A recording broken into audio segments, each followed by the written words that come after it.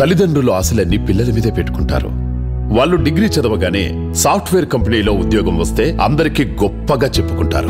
Quality thought మీరు కలలుగన్న భవిష్యత్తుని మీ పిల్లలకు బహుమతిగా ఇస్తుంది. ప్రాపర్ కెరీర్ గైడెన్స్ ఇస్తుంది. బెస్ట్ ఎంఎన్సీ ప్లేస్మెంట్స్ వచ్చేంత వరకు వారికి తోడుగా నిలబడుతుంది. గత పన్నెండేళ్ళుగా ఎంతో మంది తల్లిదండ్రుల స్వప్నాలను సాకారం చేసింది quality thought. Quality thought the leader in software training. Welcome to ITTV Global Media, the voice of software engineers. And today we have in Cyberabad, we have a cybersecurity course counselor. And we'll be definitely having a conversation on what she has to say about uh, the whole counseling she does for cybersecurity. So, uh, first of all, ma'am, your name? My name is Rushmita. Of course, I will lead that cyber security course. So, cyber security is the two types of cyber security courses. First one is SOC analysis, and next one is uh, ethical hacking is there. But ethical hacking is the professional too, professional in this. Yeah, SOC analysis is a normal cyber security course. So, ethical hacking is the most uh, professional in government sites only. So, SOC analysis, SOC analysis is the mostly useful in normal security purposes there. Wow. So if I have to look at the ethical hacking, and you said the normal cybersecurity, uh, you know, I have not seen many students getting into this, or you you feel that there is a demand in the market. ethical hacking is the demand in market. So basically in uh, ethical hacking is the most professional in the market. So ethical hacking is the only used in government uh, sectors. In government, yes sir so government sectors also mostly used in ethical hacking but ethical hacking is the in one modules is there so different tools and different modules different domains is there okay. So uh, if I have to just check my mobile security, which I see and I put password. analysis is there. SOC analysis is the normal security purpose in mobile security and laptop security is also there is the phone securities. So this is the normal cyber security. But ethical hacking is total different. What's the? I mean, what uh, what are the requirements? As in, should I be a graduate to enter? So, so ethical hacking is the undergraduate. I mean eighth class passed out is the eligible in ethical hacking. Eighth class Are you serious? Yeah, seriously. Eighth class. So if you are eighth class pass, you can get into uh, cyber security. Hacking. But must and should in communication skills only.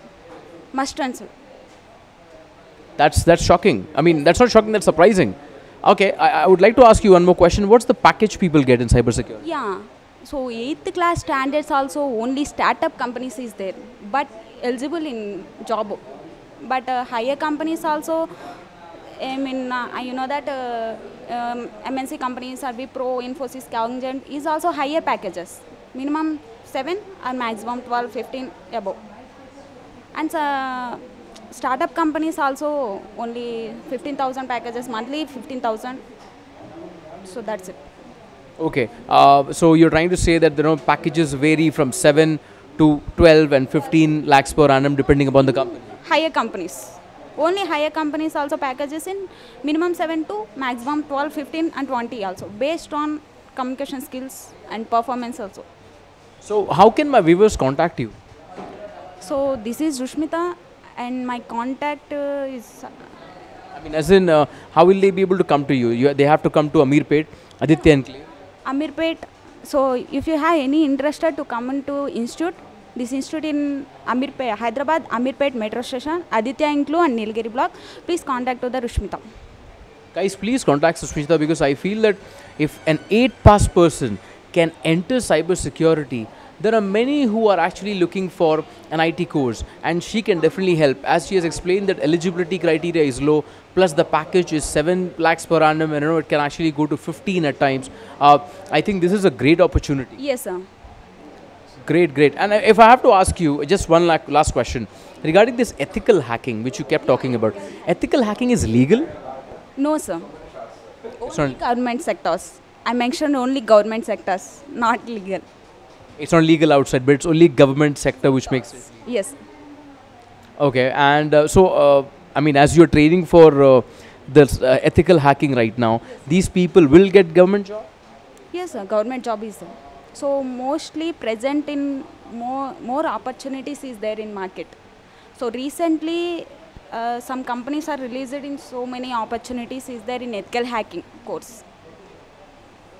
Okay, okay. I think uh, let me tell our viewers that uh, it's a great opportunity for all of you. If you are looking for anything in cybersecurity, she is there to help you. Do come to Nilgiri Block, Aditya Enclave, next to Amirpet Metro Station, uh, on the third floor, 301. Uh, sorry, 30, 302. You can come and you can definitely talk to her. Please uh, tell our viewers uh, to like, subscribe, and. All of you, thank you to all of you and Quality Thought also. So please subscribe this channel and thank you. Will you please tell them uh, Happy New Year? Yeah, mostly I'm pre- um, Happy New Year, advance Happy New Year and advance Happy Pongal. So please be happy and keep smiling.